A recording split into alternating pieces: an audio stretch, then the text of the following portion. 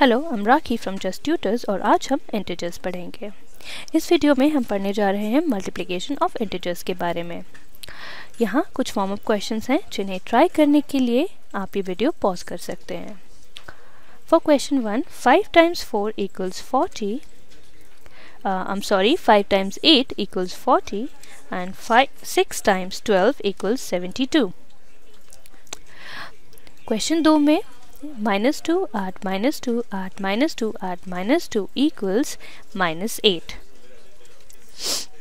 और minus two add minus two add minus two add minus two को हम four times minus to भी लिख सकते हैं।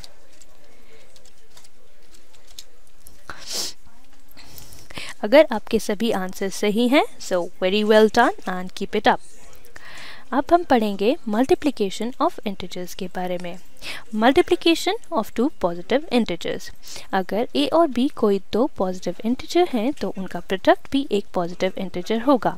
उदाहरण के लिए, दो और पाँच दो पॉजिटिव इंटीजर हैं, जिनका प्रोडक्ट दस होगा, जो कि एक पॉजिटिव इंटीजर है। अब हम multiplication of negative number with a positive number के बारे में पढ़ेंगे। Multiplication of a negative number and a positive number is negative. So, we'll multiply the integers as whole numbers और multiplication के end में हम minus sign लगा देंगे अगर a p कोई दो positive integers हैं तो minus oh, I'm sorry a times minus p is equals to minus a times p or minus a times p is equals minus a times p उदाहरण के लिए minus 2 times 5 is equals minus 2 times 5 which equals minus 10 आगे बढ़ते हैं अब हम पढ़ेंगे multiplication of two negative integers के बारे में दो नेगेटिव इंटीजर्स का प्रोडक्ट हमेशा पॉजिटिव इंटीजर होगा यदि ए और बी कोई दो पॉजिटिव इंटीजर्स हैं तो minus A times minus P will be same as a times p. For example, minus 3 times minus 1 is 3 which is same as 3 times 1. Minus 3 times 2 uh, I'm sorry minus 3 times minus 2 equals 6 which is same as 3 times 2 minus 3 times minus 3 is equals 9 which is same as 3 times 3 आगे बढ़ते हैं अब हम पढ़ेंगे तीन या उससे अधिक नेगेटिव इंटीजर्स के प्रोडक्ट के बारे में यदि हम दो पॉजिटिव इंटीजर्स को मल्टीप्लाई करते हैं तो उनका प्रोडक्ट एक नेगेटिव आई एम सॉरी एक पॉजिटिव नंबर होगा। उदाहरण के लिए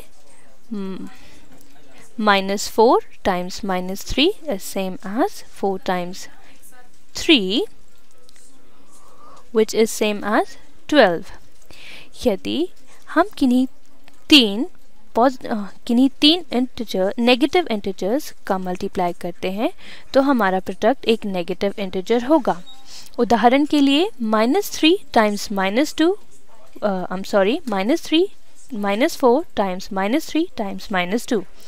So, minus 4 times minus 3 is 12 as we know, and 12 times minus 2 will be minus 24.